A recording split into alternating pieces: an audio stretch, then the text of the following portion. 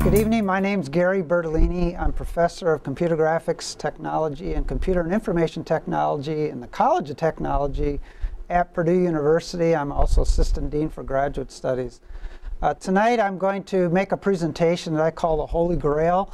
Um, it really um, is an interesting presentation and it's something that I always share with uh, students at Purdue uh, because I think it brings a lot of value into uh, their education and also their career and their life in general.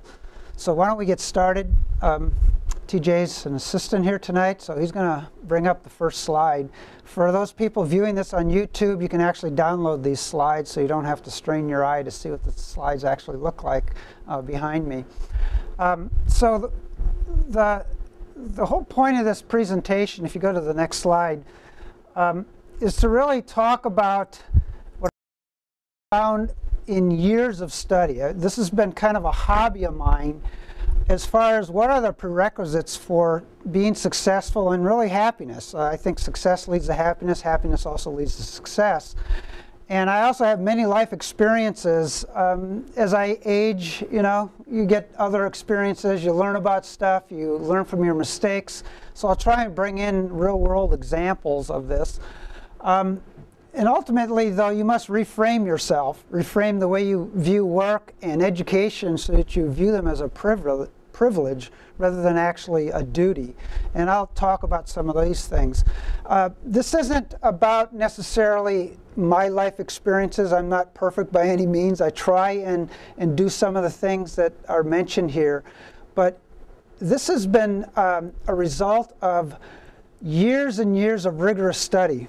Okay, the, the books that I have referenced in the last few slides are ones that I highly recommend you look at at some point in your life.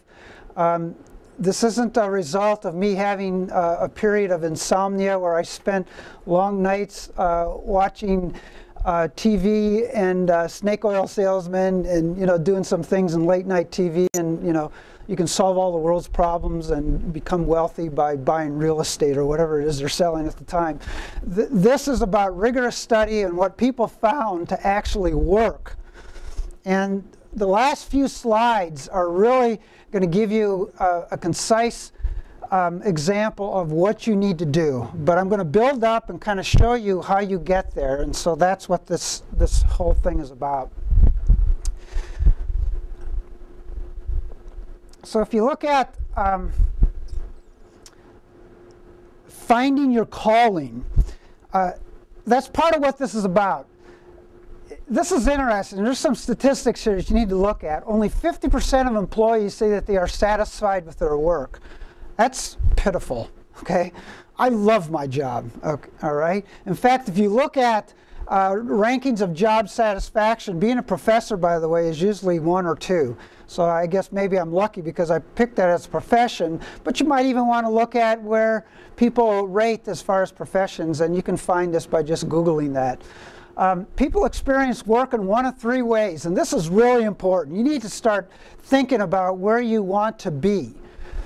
It's as a job that is perceived as an unpleasant task, as a career where you're motivated by extrinsic factors like how much money I can make, the position that I'm going to get over the uh, period of time, and then as a calling. And that's where you're motivated by intrinsic factors, you display passion, you derive personal fulfillment and perceive your job as a privilege. It's a huge difference to go from as a job or as a career to becoming a calling. And that's really the challenge to you. Now, by the way, this doesn't have to just apply to your job. Okay, maybe you want to just have a job, and that's fine. Okay, it's your life, right? But there might be other areas that you want to have a calling in. And some people do that. They don't care if they're satisfied with their work. They want to have their calling, if you will, in some other aspect of their life. I think that this can also help you with that. It can help you to find your calling, whether it's work or not. I'm going to focus in a little bit more on work because I think many of you, you're, you know, you're here in grad school because you know, it's probably career related, not because uh, you want to be more liberally educated, especially given that you're in the College of Technology, okay? So let's go to the next slide. So successful people, this is pretty cool. Because one of the things I want to talk a lot about is time management. It's not really time management. I'll tell you what it's really called a little bit later. But Stanley Marcus, uh, some of you might know uh, Neiman Marcus. That's a common uh, a name in retail. He was once asked, What do wealthy, powerful, and famous people you know have in common? He replied, We all have 24 hours in a day.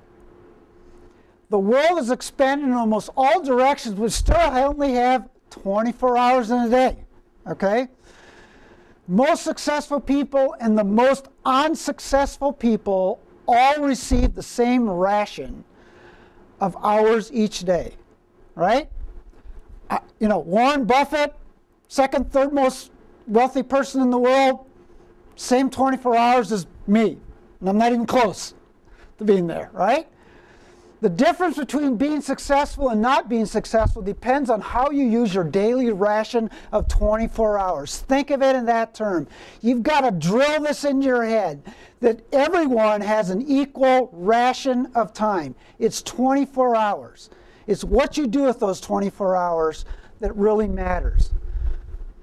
So think of it in this way the old fashioned clock. I know most of you don't have anything but digital right now, but you know, the old idea tick tock, tick tock, tick tock. You got to keep that in the back of your mind. Time is important. The way you think about time and the way you think about yourself, and I'm going to talk about the self part here, will affect everything that happens to you for the rest of your life. The two most important factors in your life being successful and happy is what you think about yourself and how you think about time. Time is money. You want to calculate quickly how much time is? For example, I, I make a conscious decision on whether I mow my lawn or I hire someone.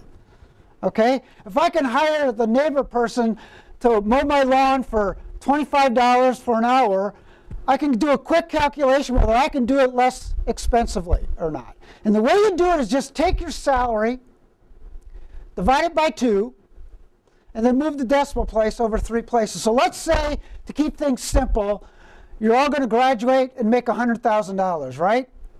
Divide that by two, it's $50,000. Move the decimal place, you're worth $50 an hour.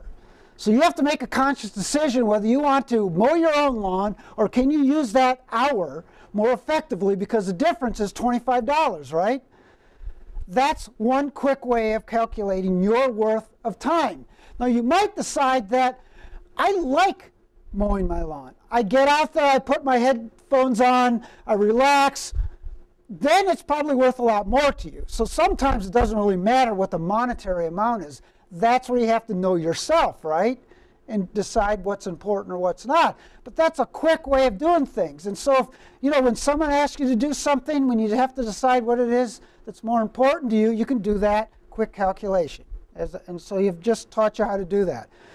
However, and this is extremely important, happiness is the ultimate currency and the only currency that really matters. More on this point later, but I can tell you right now that study after study after study shows that getting money does not translate into happiness. In fact, there's people that have studied um, winners of lotteries. And what they found is that most people that win the lottery actually end up in the same state of happiness or worse than when they received the money. Think about that. Okay?